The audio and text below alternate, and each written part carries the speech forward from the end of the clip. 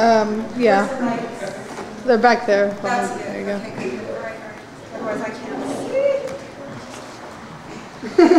see. we went to Yellowstone. I can't even begin to say it. The, sorry. Erase, erase.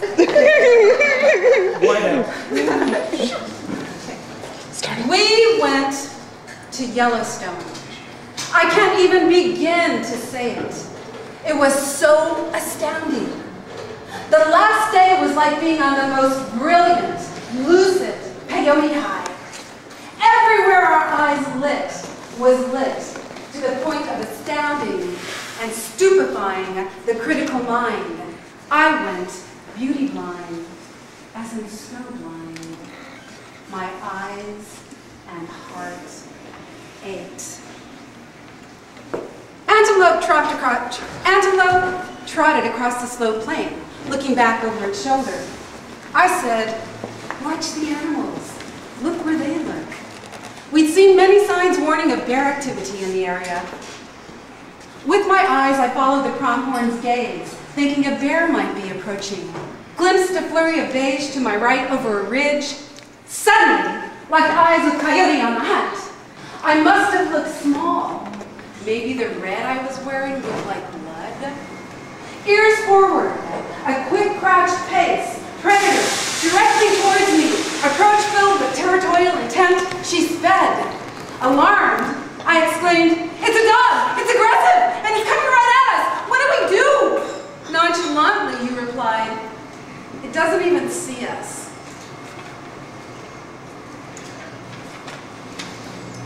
My attention held to Coyote's dead eye contact. I declared, yes it does! What do we do? You said, don't run. I said, get a rock! When I first saw Coyote, I turned my video camera on, focused it on her, never breaking eye contact. During all of this, I could feel her fangs clamp down on my flesh, tear my limbs, taste my blood. This is what I saw through her eyes. You found a large rock. We turned to face Coyote, ready to fight.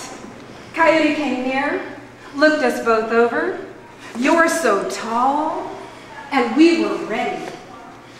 Coyote thought twice, veered to the right of us, changed her posture to a gesture of, just kidding. But as she looked back over her shoulder, she bared her teeth and snarled, a quick one. Foiled again. Coyote, we are linked in four phases.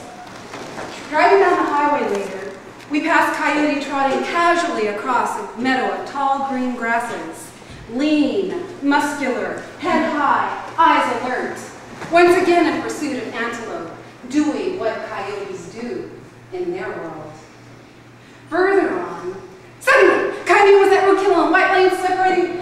Suddenly, Coyote was at. Suddenly, Coyote was at. Suddenly, Coyote was at Roadkill and White Line separating the lanes a split second ahead of us. Wisely, you did not step on the brakes, you did not swerve, you avoided an accident, avoided killing Coyote, who was quick. She spun around, tore off to the right. Our bumper just missing her. Only the tick of her tail tapping our fender told of Coyote's near fatality.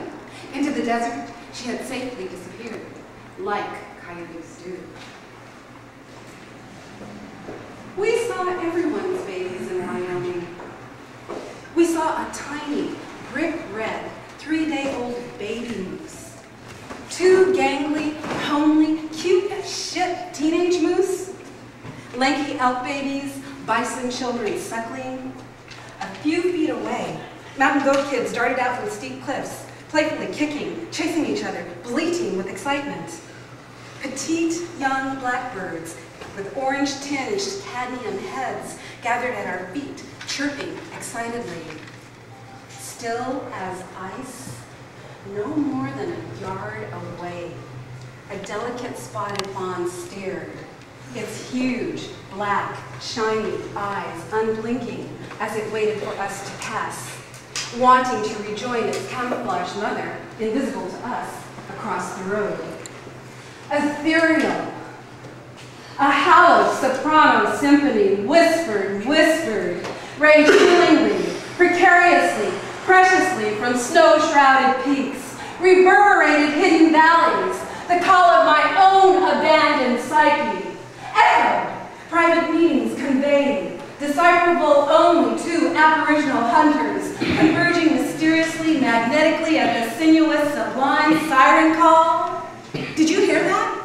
As if it existed and welled up solely from the depths of my own haunted soul, inaudible to any other. Ravenous, primal, forbidden testimonial to survival. A teenage black wolf toward a large carcass of chalk-white ribs protruding from a freezing, icy river. So close! A nocturnal red fox passed my car window just beneath my fingertips. Behind a curtain of leafy bushes, a gray grouse uttered a guttural, rumbling threat, mimicking a mountain lion's growl, causing us to stop dead and gasp. In harlequin masks, gentle ducks rippled calm river waters. Shuffling dried aspen leaves, a fluffy, chubby, funny groundhog rooted for, what else? Roots. So close, we glimpsed a blonde grizzly digging near the highway, a black bear grazing on a hill, limping its paw injured. We saw, we saw a mother black bear with twins, brown and black, only a month old. She bathed in a stream, then exhausted, rested beneath a tree, a single mom caring for two babies, tumbling and scrambling up a tree like a fly she could barely see.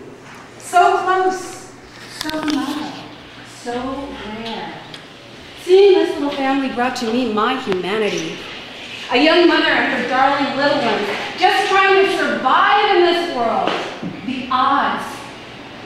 When we had to leave, I felt like I was leaving my own family, my own tribe, my own rare culture. My ears teared and teared and teared.